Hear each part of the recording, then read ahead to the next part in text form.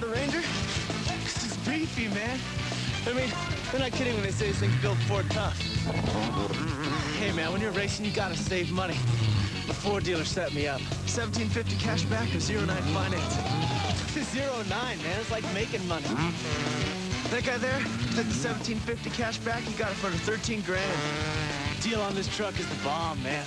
I'm stoked.